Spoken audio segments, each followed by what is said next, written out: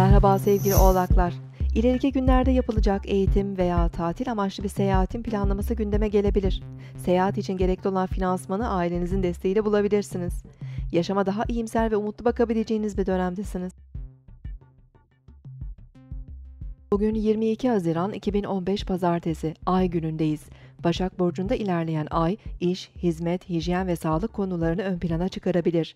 Ay öğle saatlerinde İkizler Burcu'ndaki Merkürle kare, Balık Burcu'ndaki Neptün'le karşıt açı yapacak.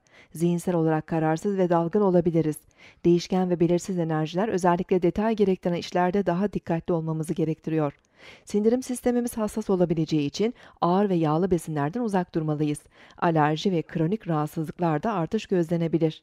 Koç burcunda ilerleyen Uranüs ve Aslan burcundaki Jüpiter arasında üçgen açı meydana gelecek. Beklenmeyen sürpriz şans ve fırsatlarla karşılaşabiliriz.